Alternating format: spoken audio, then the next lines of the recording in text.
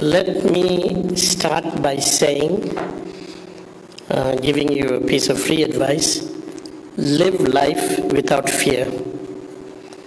If you live life fearlessly, your life's experiences will be limitless. And I'll talk a little bit about that as we go on. The main topic of uh, today's chat is entrepreneurship. And you know, doctors can be entrepreneurs. You can invest in restaurants, in farms, in medical clinics, and so on. So I hope it's somewhat re- relevant.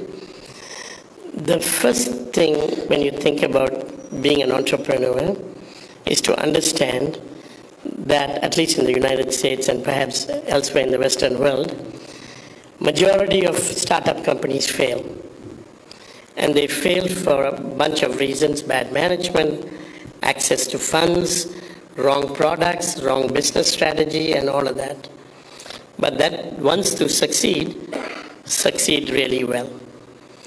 So, the first thing I would do is understand what your goal is. What is it that you want to build? Why do you want to build it? And how you're going to go about it. Now, having a goal in itself is not enough. You have to have a strategy to attain your goal. I, even today, have a yearly strategy. I have a monthly strategy. I have a weekly strategy and I have a daily strategy of what I want to accomplish. So every day I sit and write down what it is that I want to do that day. I have a yearly strategy, and without a goal without strategy is like a ship without um, rudder. You just sort of. Secondly, once you have your goal and strategy, literally write down what is it that you bring to the party. What is your core competency? What is your advantage? Why would you succeed? It could be a variety of reasons, but you need to understand what you bring to the party, what is your core competency. And it doesn't have to be something that other people uh, don't do. It could be as simple as I want to grow chili in my family uh, farm, and this is how I want to sell it, this is how I want to market it, and so on and so forth. So understand your strategy clearly. Now, many people will tell you have a plan B if plan A fails. I say don't have a plan B, right? Because plan B will dilute your energy. Give it all and be prepared to fail. And if you fail five times, get up six times. Right? Failure is not a terrible thing. You learn more from your failure than you do from your success right? So no plan B. Understand what your edge or your competency is, and then be fearless. Think big. And if you fail big, there's always a safety net. Remember, we have tremendous advantages as Tamils. We have a strong family network. We have a safety net. And this is an amazing time. I've never been more optimistic about the North because the um, central government is weak right now. They need external funds.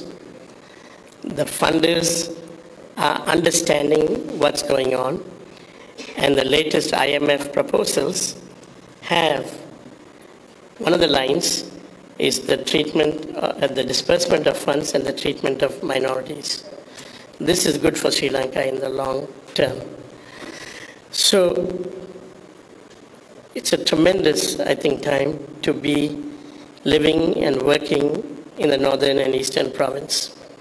Now, I went to Vietnam soon after the war was war had ended, and it was devastated. Bombings. Vietnamese were leaving in boats to U.S. and Europe and everywhere.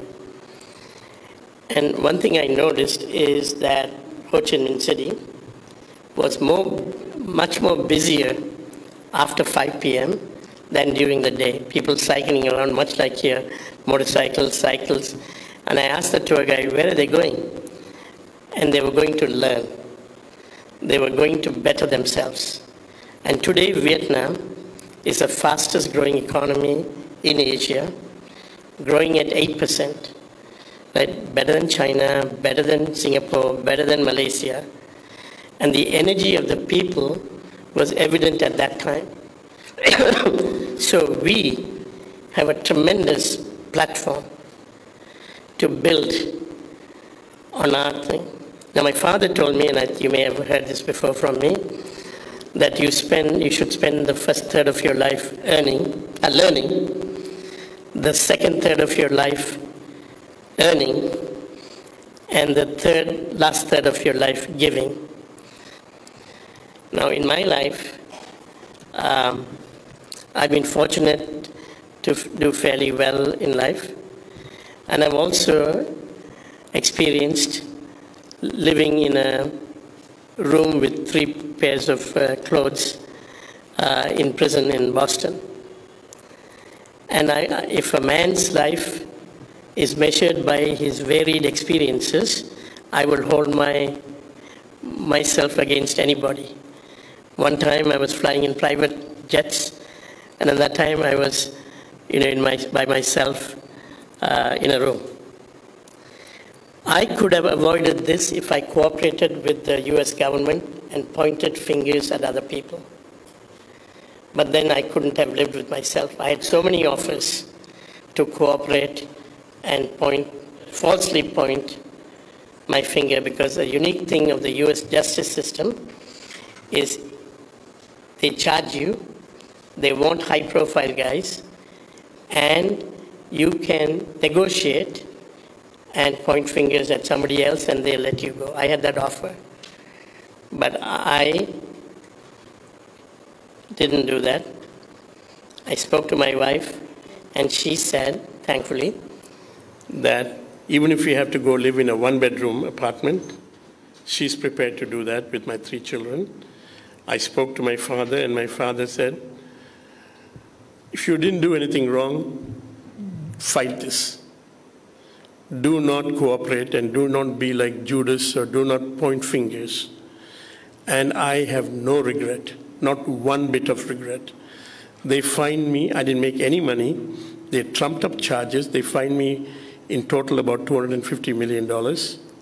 Right? But I'm standing, I'm smiling, I'm in my own country with my own people, and life is very good for me my experience, I've learned more from my failures than from my success. Let's say I win at something, I move on to the next thing. But if I lose, I sit and analyze it. Why? So I'm in the investment business. Every year, I make money in some stocks and I lose money in stocks. At the end of every year, I sit and look at the 10 most losses I've had. I don't look at the winners. And I, I try to learn from why did I buy this stock and why didn't I sell it at the right time. And I think if you don't take failure as a negative, as a positive, as a learning experience, you know, I think you will learn. You have to be mentally tough. As I said, you have to be fearless. And you can't live life scared. I think my fearlessness came from my father. He was born in Vadamarachchi in a small town um, near Point Pedro called Alvai. And he was uh, son of a Tamil teacher, headmaster. Luckily, after he was the first from his village to go to university, and when he went to university after he graduated, we didn't, he didn't have any connections. You know, in Sri Lanka, many times you have to have connections to get things done. He applied for a scholarship to study uh, accountancy in England. He went to England. When he came back, part of the deal was he had to work for the government. He came back in 1957. In 56, they instituted the Sinhala only policy. But that wasn't what he had signed up for.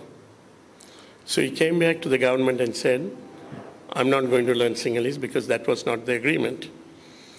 And they said you have to pay back five years' worth of expenses of living and studying in London. He said, okay. At that time, and he quit. At that time, his net worth was zero.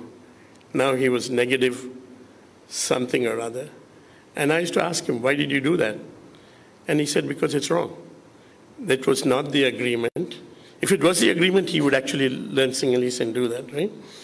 So all along his life, he was strong and fearless.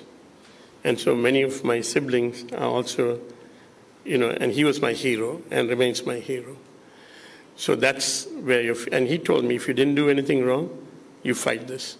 You know, this country, I mean, there are many more smarter guys than me that, that can explain what happened. But my feeling is, for the first time, the international community has got very active in Sri Lanka, the IMF, India, China, and Japan. And we can't fool these countries. These countries know exactly what's going on here.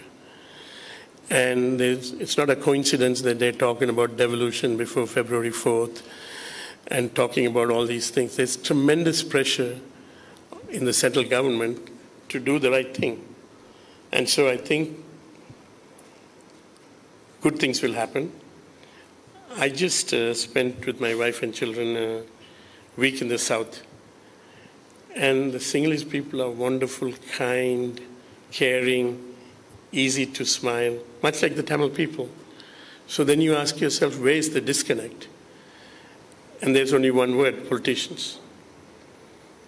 You know, we know that in many countries there's corruption, but the level of corruption here is beyond the pale. And the amount relative to